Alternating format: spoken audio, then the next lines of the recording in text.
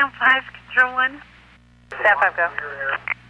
I have a cat stuck in the neighbor's pool, and the neighbors are home but refusing to answering the door.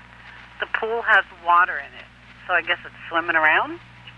Are we going? Um, well, we can go out there.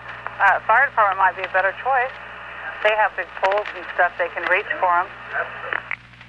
Fire won't go because it's the neighbor's property, and animal control won't go because they don't consider a cat an animal. Okay.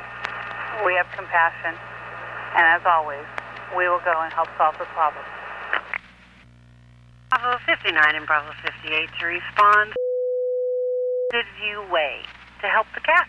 Okay, is this the complainant's house or is this where the cat is? What I can tell, that's the complainant's house.